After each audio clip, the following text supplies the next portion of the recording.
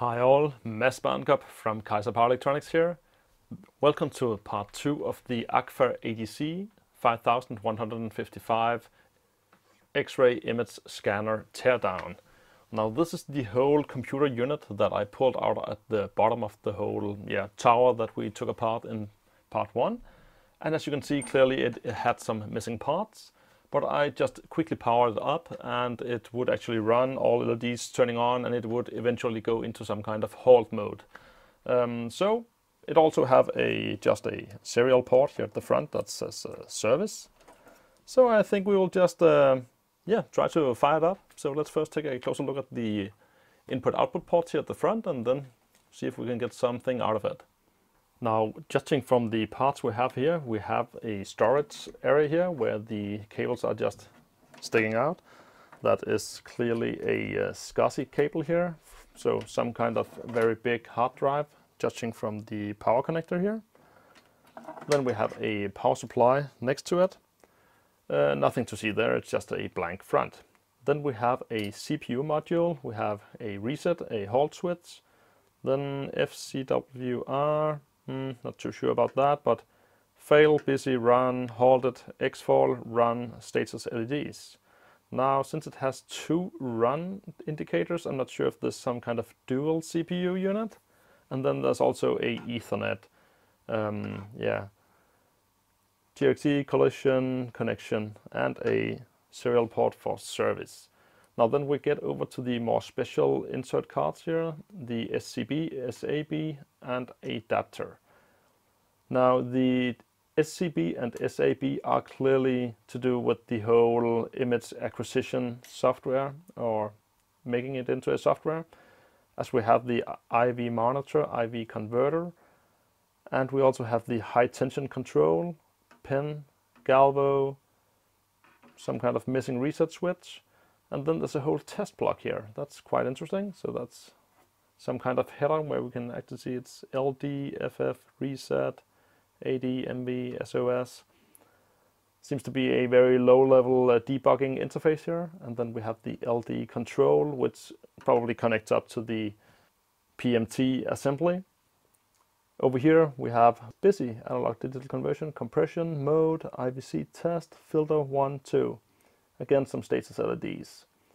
Over here we have a Ethernet plug, Peltier control, 24 volt supply, a tag reader for the indication of the image plates, the LCD connector that was sitting at top of the unit, and then we have a I.O. bus for all the different parts that it would control.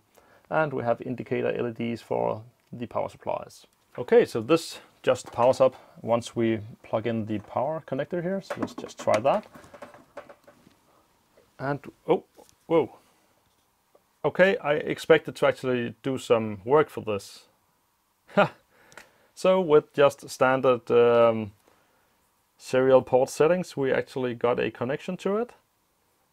Uh, it's running into some kind of uh, wait until disk HD0 is ready. Yeah, of course it's not ready, it's missing. Uh, let's just try to reset that. So we're booting up again. Cold start. Whoa, it does something new every time I touch this. That's interesting. Searching syscon and then it just runs up in numbers. I'm wondering what this is going to end up at. Okay, so it went past 255. Okay, searching syscon 299 not found. Monitor. Okay, we actually get a prompt here. Interesting. Syscon. Unknown command syscon. Okay, let's just get back up to the start again. That, let's just try to clear that, reset.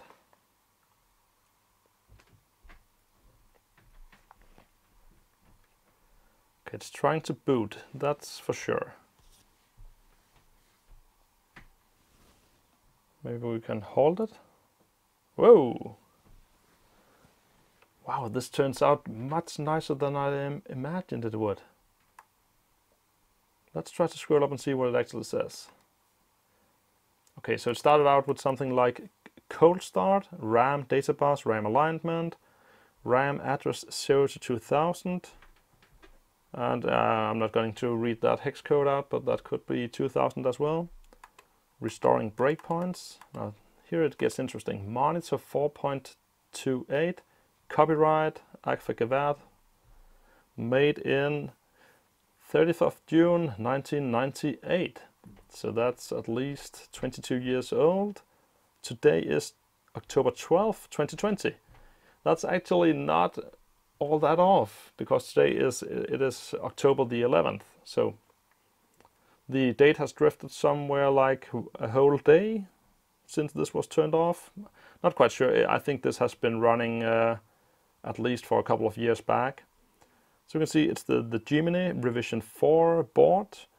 It also had a sticker saying that at the front, but yeah, not able to find much uh, except some spare parts on eBay. And what can we see? It's a customer release, 32 megabytes of RAM, 33 megahertz. Oh, it's a 68040 Motorola CPU. How nice! That is a legend of a CPU. I have worked on so many PLC systems uh, running on the 68020 or just 60 or 68K. And this is a pretty much a more advanced chip than the 00 and the 20. So see if floating point chip present, no. CPU chip present, 68040 running, slave CPU, no CPU. Okay, so it's a single CPU uh, board we have. Interface module 0 BER IT25. Then it scans VME boards. I wonder what that is. I got no idea what control system this is running. But except it says auto boot bo bsp.program. Let's see what it dumps out down here. It threw this exception when I um, flicked the halt switch. So that's kind of interesting. So my, my best guess here is that we, we'll just have to try to mimic some of the commands that we see. VME, for example, what happens? Error VME2 not reachable. Okay, so is one re no, that did not work out that great. Error number expected. Ah, a single question mark cannot be too many parameters. Come on. Hmm, what else did it have up there? Okay, that scroll up did not work. Me, sys, auto boot, bsp.program. Maybe we can call that program.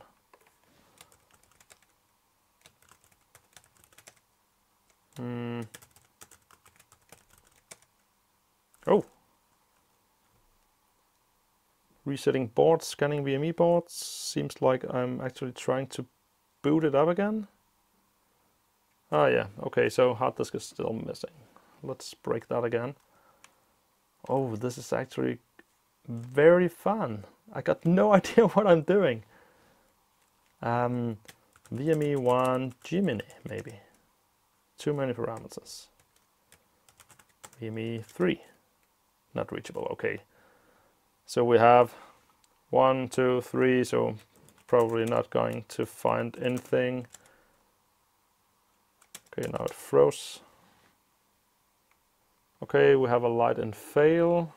Did not like that. Can we hold it again? Ah, a board switch. That's super nice to have. I did not think it would actually work like that. Okay, let's try to reset it again. Let's start all over. Just get to hold it now. Okay, like that, yes. See, I want to try me, sys, tried the BO, that's what bought it, uh, booted up. And we have all these, um, seems to be some kind of um, RAM registers or all kinds of uh, memory addresses. We have data address, next. So, okay, so we actually get a that seems like assembler command. Or some kind of language very close to assembler. Well, you must really chime in on the comments if you know how, how to uh, get on with this because I'm not sure I'm going to get everything sorted out in this video. Hmm, exception, what do we have then? PC? Ah. No. USP, MSP, ISP, VBR, okay. Uh, seems like some kind of short names. SR, SR, TR, IM, SM, CC. SR, TR. Oops. Okay, there was another command. Interesting. Also seems like, um, okay, so, okay, TR is maybe trace to ISR. Huh. ISR. Wrong keyboard layout. Ah! Move. Nope. IM, SM, CC, data, ADR. Uh, I'm just throwing commands at it. Maybe something works. At least it seems like we have found some commands now. Okay, no uh, no return there. I'm also running out of the history here, so I'm not quite sure what I'm uh, dumping in now. Um, yeah, what can we try? Reset. Reset. Hmm, boot. Ah, okay, we tried. B BO was boot. TR is trace. Hmm here we can see we, we dumped it at, okay, floppy drive. So it would have both a floppy and a SCSI hard drive. That's interesting. So it could actually also boot up on a floppy drive. Um, what else can we try? CPU. Oh, cache. Yes, no, cancel, deny.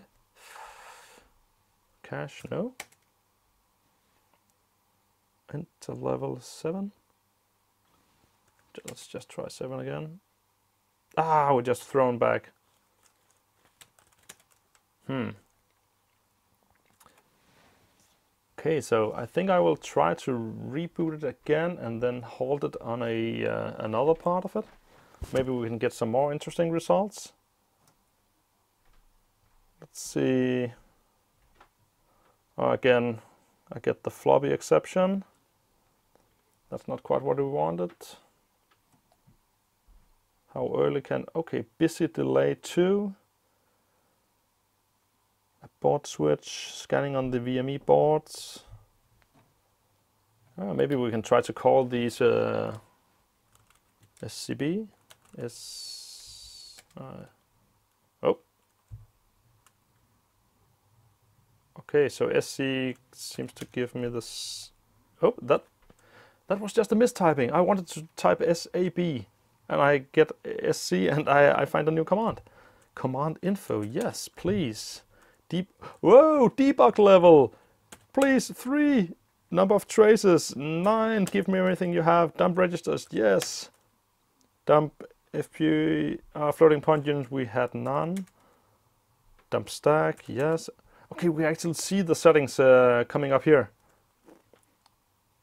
Terminal port, uh, Okay, that's one already. Host port zero, auto boot. Whoa, I found the settings menu. Woo! Auto boot, uh, yes, yes, yes, let's keep that. Use RT scope. Mm. Okay, boot command string. Interesting. Yeah, let's just go with that. SCSI, yeah. I got no drive. Let's just repeat those settings. Mm. Yes, just starts over. Okay, so I can just repeat them.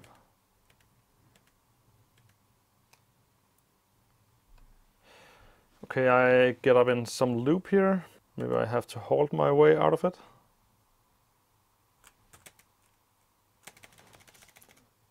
Let's just get all the way through again, like that. Hold. a board switch there. I got no idea. Let's try to reset it now that we asked for a different debug level.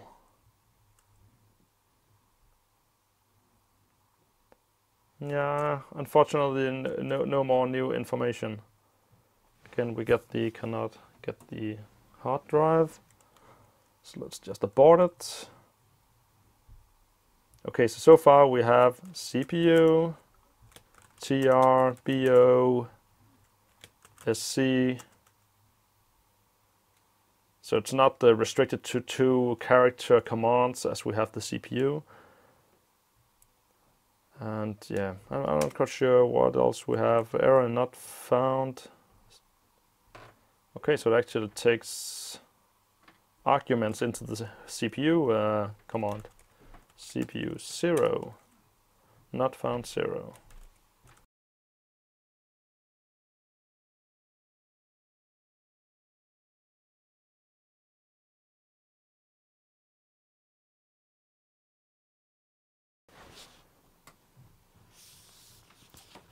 So I'll say that was quite an interesting uh, experience here with just booting up an old computer and getting a command interface right away on a service serial port. You do not find that on many computers today. So uh, I hope some of you uh, have something to help me with get on with this operating system. But else, uh, let's get it taken apart and take a look at the boards and see what's inside. Now we at least do know how much RAM and what CPU we have in it. Before taking a look at the different cards, I would just point out that the Ethernet port over here actually sits with its own flat band cable that goes to the back of the backplane and from here on it actually goes to the CPU card that has the network card built in. The backplane has five rows of 96 pin headers, which is of course female at the bottom of the backplane here and then we have male plugs at the cards. Taking a look at the backside we can see that there has been done quite a lot of uh, work over here uh, with some flat cables both for the SCSI interface, the floppy drive, uh, but also the network interface that we have sitting over here. Now these both go out, go out from the same slot here to the CPU card. That's worth noticing. And we actually have the SCSI driver as connecting to the bottom one here. So we have to remember that SCSI driver goes at the bottom, network card and floppy at the top here. Other than that, we only have some power distribution over here from the power supply and that just sits with a huge amount of cable shoes sitting here. Has a, few markers down here with the 5 volt ground, sys fail, AC fail, sys res, bus clear, and it's just stamped VME bus. Let us first take a look at the IO bus adapter and Ethernet connection card here. As you can see, the flat cable connector goes directly to the Ethernet port over here. No connections to the backplane whatsoever. It also had a external power supply input, which probably has to do with the 24 volt plug sitting here at the front. Other than that, it only has a small bit of logic sitting over here. Actually says version 0, 1, 2, free. And then you can put in some resistors. That's quite interesting. Uh, it is marked with Agfa Gevaert. Uh, so all the PCBs are made by Agfa itself. Has some, yeah. I, I assume we can only say this is probably inductors from the marking L15. We have some voltage regulators and a lot of electrolytic capacitors and a large 3.2 amp fuse. Now it's worth noticing these special noise suppression inputs uh, here. It seems to be some kind of ferrite rod going through a grounded loop and then perhaps a wire going through the middle. And here we can also see a small ferrite bead just sitting around two data lines. Next up is the SAB card, which was the IV monitor and IV converter. So this was what we thought to be a analog to digital conversion unit. And as we can see here, it has a nice gold-plated analog devices, AD7886JD analog to digital conversion chip. For the monitor, we have a single AD T739 and AD734 and that probably cooperates together and for the converter itself we have the gold plated chip. Connects over here to the upper connector and that actually brings me to the point about the VME bus that we saw on the backplane that this is, as I mentioned earlier, very similar to some ABB products that I have worked on. And after I looked at VME bus, it only makes sense that, of course, it's also the same as the old Simatic uh, systems that I have worked on from Siemens, that the VME bus standard was developed by the Motorola team that made the Motorola CPU. And they made their whole own standard setup that you could use for your designs.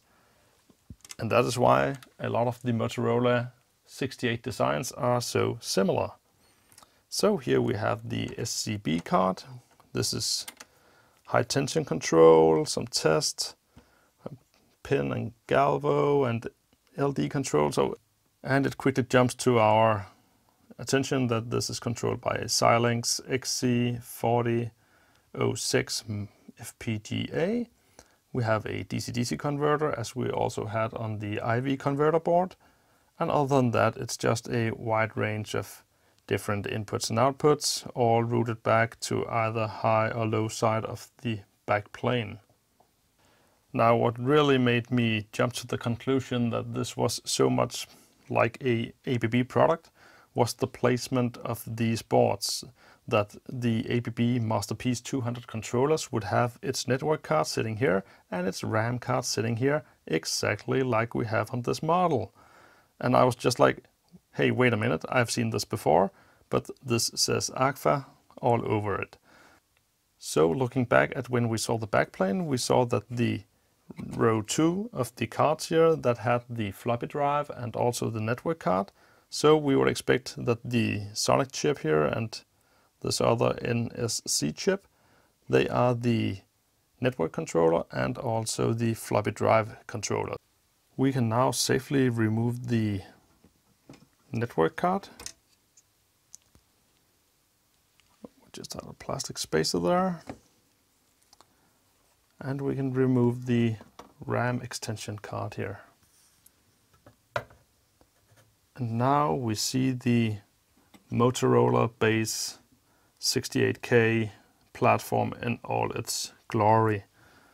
And here you can actually see the slot for the second CPU or was it perhaps the FPU.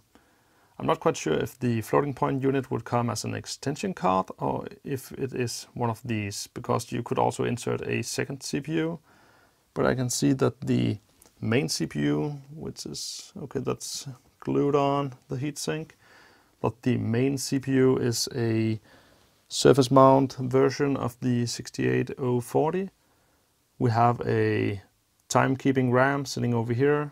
That's simply a RAM chip with a battery on top. That we have a wide range of crystals, 64 megahertz, 40 megahertz, 66 megahertz, 3.68 megahertz. Actually, uh, quite interesting that we do not have any 33 megahertz um, sitting here as the CPU runs 33 megahertz. Other than the one sitting here at the main board, we also have a 20 megahertz and 24 megahertz. But as we have a 66 megahertz, we can only assume that half of this is used for the clock cycle. For the whole backplane interaction and the interfaces, we have three Xilinx FPGAs. 4005, 4010, and 4010. We also have a VIC 64 and as we had a VIC command to the hardware interface, that could be that the hardware interface specification actually is due to this chip they have used here. We also have a SIM BIOS IC sitting over here. The power supply is quite interestingly not a custom job, but seems to be a Astec LPQ 252 which just takes a AC or DC input and there is no information about the secondary side. We can see it's manufactured in 2000 week 28. But if we take a look over here, we can see that it has some markings. Voltage 1, common, voltage 4, return, voltage 3, common, common, voltage 2, and then voltage 1 underneath here. And over here at the main side we have ground, phase neutral. And there's not so much to say about this. It's a pretty standard modular power supply, except that it does seem to, since it's not marked with some special voltages, that these cards we can see inside can just be soldered in according to the voltages you need, and then you can change the output connectors. Only fun thing to notice here is this small capacitor sitting across the positive and negative rail of the, what I can only assume is the 5 volt rail uh, for noise suppressing, that it's just soldered up here between the two terminals and not sitting somewhere down on the board. So it's a couple of days later and I have found out a few new commands by just uh, juggling around with the key combinations. So let's take a look at that.